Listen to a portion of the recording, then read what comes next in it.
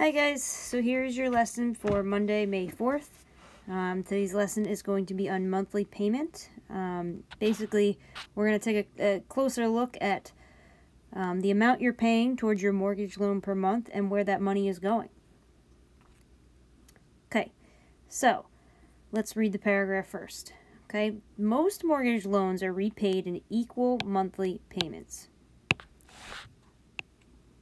Each payment includes an amount for payment of interest, an amount of payment for towards the principal of interest, an amount of payment of the principal of the loan, or the amount borrowed to finance the mortgage. The amount of interest is calculated using the simple interest formula. Okay, so we're going to talk about three formulas today. Interest, payment to the principal, and the new principal. So basically what that means, okay, is, let's say for example, you have, you take a loan for $100,000, okay? Your monthly payment is approximately $500. Now that $500 that you're paying, okay, is going to two places. It's going to the principal. The principal is just the amount that you took out on the loan, the amount that you have left to pay back to the bank. And remember the interest, okay, is the amount is the money that the bank makes. So let's say, for example, this $500 that you paid this month, really in the beginning, only a small amount of that goes to the principal. Let's say $50 goes to your principal. The rest of that, 500 minus 50 is 450. The rest of that money is going to interest. Okay? Meaning, this is what the bank makes.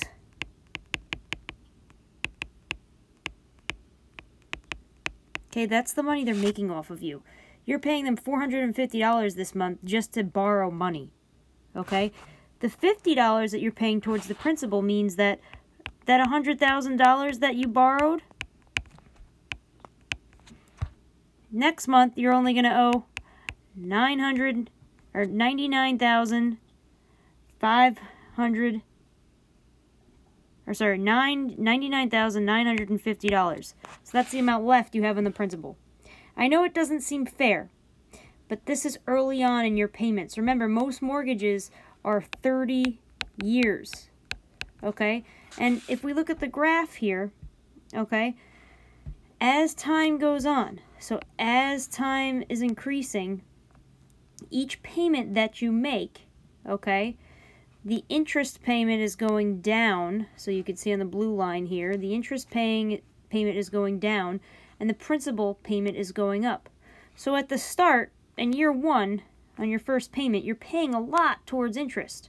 You're paying a little bit towards the principal balance.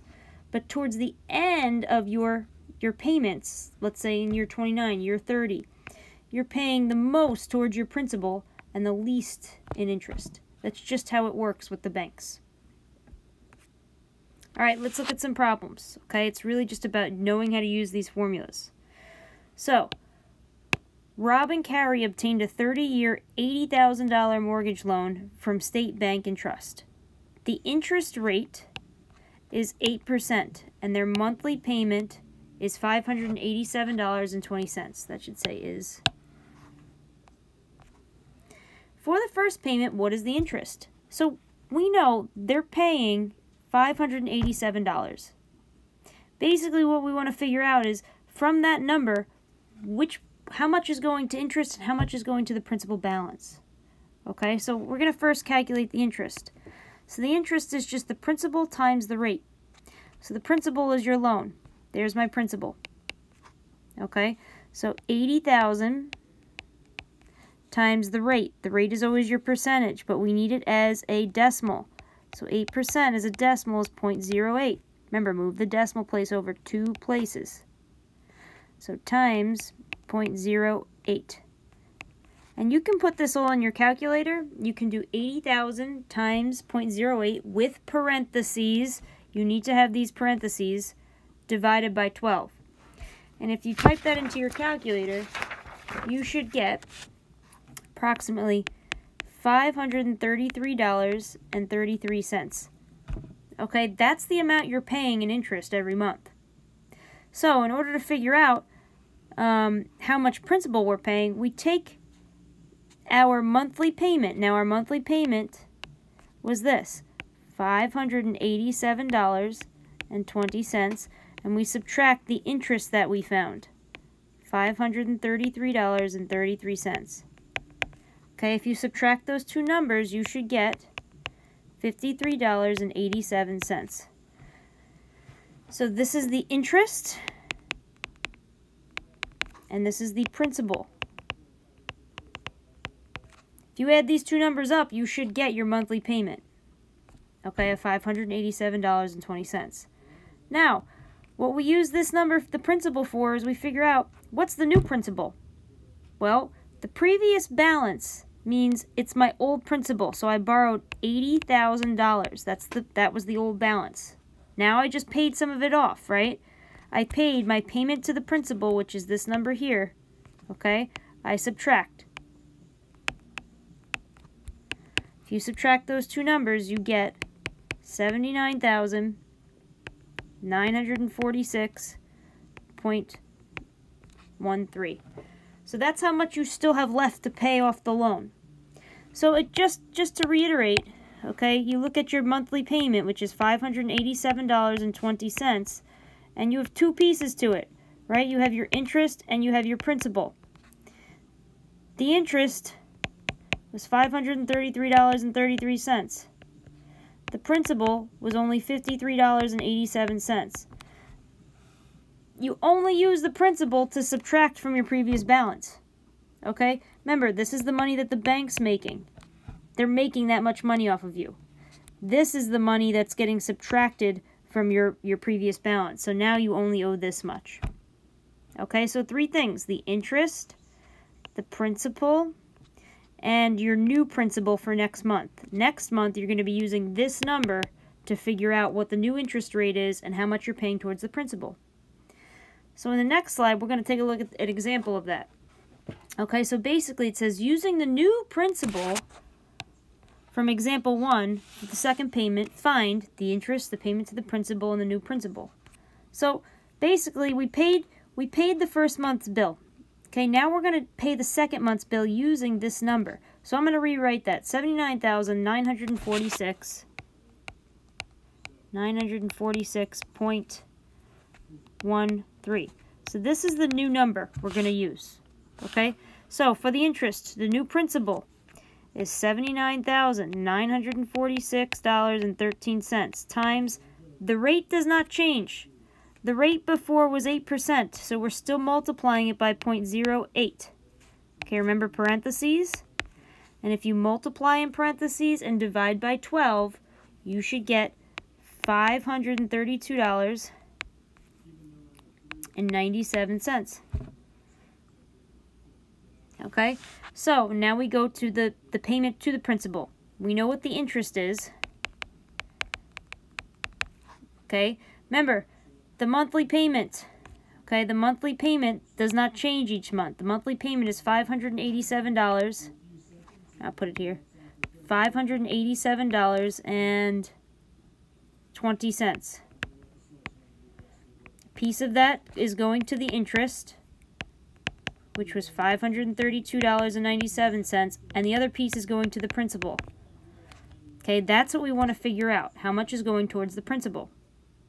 So, like just like before, we take the monthly payment, which is $587.20, and we subtract the interest, 532.97.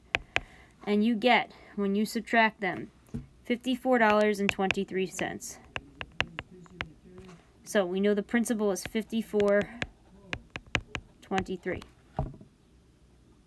Okay, now we find our new balance again, so that for month three, we have a new balance, right? We know that we owed $79,946.13 minus what we're paying to the principal, $54.23. Okay? You subtract those two numbers, the new amount that you owe for next month is 79,892.08. Okay, so if you notice, this is month number one. This is month number two. I'll put M. Month number one, month number two. Okay, the principal, or the interest, should go down from each month the next. So 533 goes down to 532. The principal balance should be going up. 5387, 5423.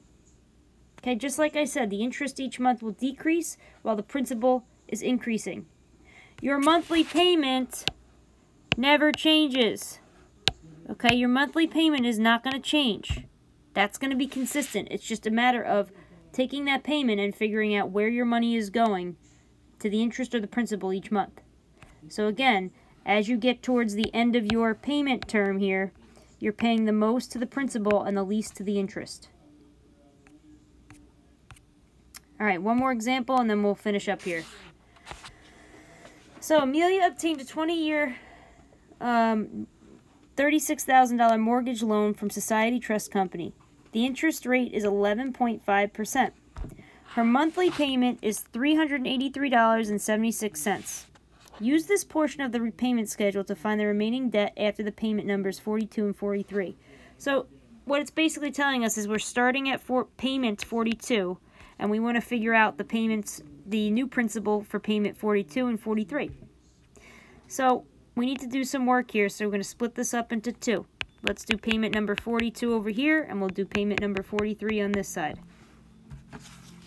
Okay, so for payment number 42, we're using the number from the old principal, okay, to determine this. So the interest, remember the interest is your principal balance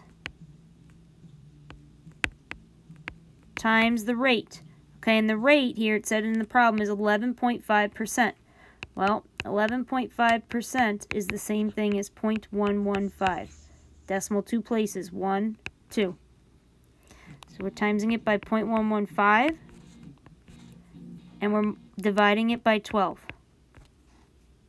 Okay, if you do that in your calculator with parentheses, you should get $67.78. Okay, the payment to the principal. Remember, we're taking the principal or the the monthly payment, which is 383.76, and we subtract the interest. Okay, when you subtract those numbers, you get 315.98. And you can also fill this in. The amount of interest is 67.78.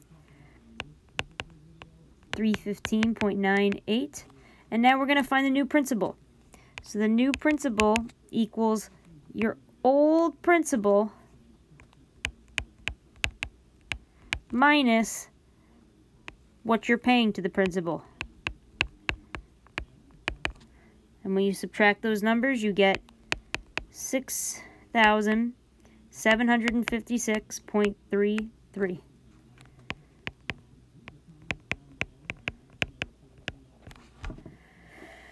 Okay, so that's for payment 42, and now we're going to do payment 43. Okay, payment 43, same process. Okay, we take the interest, although now we have a new bal a new principal balance. Okay, so we take our new balance, well, the new number we owe, 756.33, oops,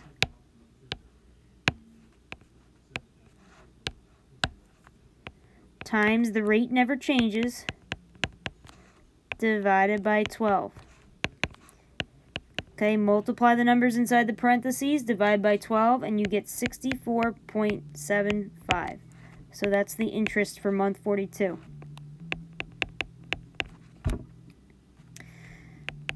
The payment to the principal.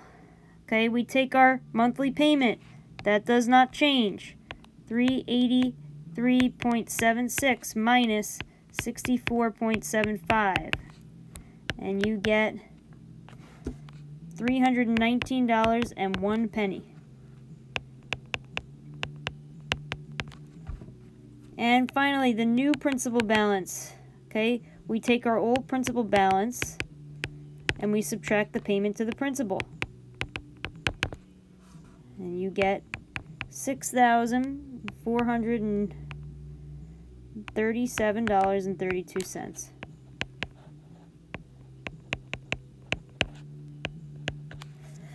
is your new principal balance, the new amount you owe. So you'll notice, guys, look at the amount of interest here. Okay, the amount of interest is going down each month, while the payment to the principal is going up each month. Your new balance, your new principal balance should always go down because it means you're paying money towards what you owe. Alright guys, that's it for today. Take a look at the assignment. Good luck. Um, please contact me if you need any help.